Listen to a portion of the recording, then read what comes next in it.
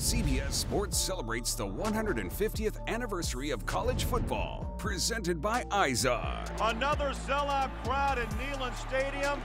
Oh, how Georgia would like to silence this crowd today. With a flat little screen, here comes Travis Stephens. You gotta be kidding! Touchdown! Unbelievable! Ten seconds, we're on their sixth straight, and there's a touchdown! Touchdown, my God, a touchdown! We threw We just stepped on their face with a hobnail boot and broke their nose.